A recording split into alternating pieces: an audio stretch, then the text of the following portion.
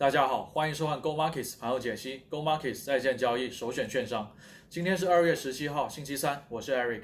我们的 Go Markets 心理小助手的微信号近期是有变更的，各位可以扫描视频中的微信二维码进行添加。我们 Go Markets 分析师团队的许多内容都会通过新的小助手来进行发送，希望各位不要错过。今天 ASS 两百指数回调，下跌了三十二点，收在六千八百八十五点。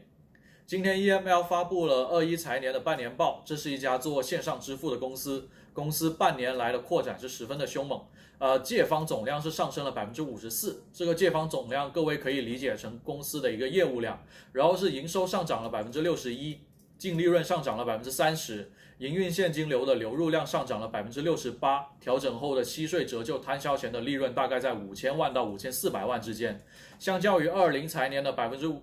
呃，相较于二零财年呢，是有百分之五十四到百分之六十六的上涨的，数据都十分的夸张啊。跟 PayPal、支付宝这些支付平台相比呢，EML 的切入点是有点不一样的。呃，他们业务中的很大一块是预付款业务，比如礼品卡这种。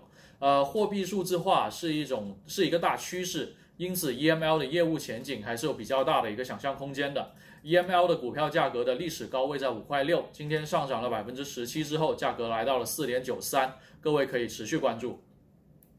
今天 LYC 也是迎来了大涨，我们的分析师团队也聊到很多次啊，无论是我们的讲座还是分析报告，都说了他们的价值跟潜力。今天的涨幅也是比想象中的凶猛更加凶猛，最终他们的股价是突破了五块五的前高之后，一路冲上了六块的整数窗口。呃，最终价格是收涨在了六点零七。昨天信誓旦旦回怼澳交所的 Zip，今天是大幅度回调，下跌了百分之十四点三，收跌在了十一块九毛六。昨天大涨的 APX 也是迎来了回调，啊，价格是下下跌了百分之九，价格收跌在了二十三块一毛一。但怎么说呢？真的假不了，假的也真不了。我们能够做的就是分析、判断、执行，然后相信。呃，贵金属方面，黄金跳水从一八二五一路下跌。最低的时候是跌到了一七八六，啊，离一七八五的关键价位呢，也仅仅是毫厘之差。现在的报价在一七九三附近，白银也是一根大阴线就往下扎，从二十七点七五的价格一路跌到了二十六点八左右，现在又回弹到了二十七点三三五美金。